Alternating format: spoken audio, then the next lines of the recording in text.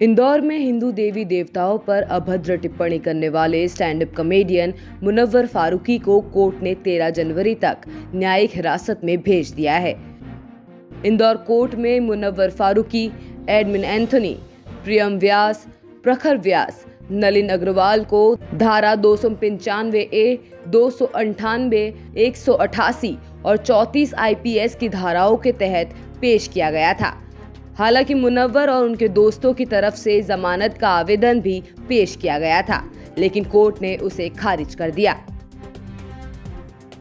ये दो सौ पंचानवे दो सौ अठानवे और दो सौ मैंने टू सिक्स नाइन एक्ट और one eight, one double eight और चौंतीस भादवी के उसमें इनके खिलाफ धारा लगाकर इनको मुलजिम बनाया गया इसमें मुनव्वर पिता इकबाल फारूक के निवासी नसीम मंजिल।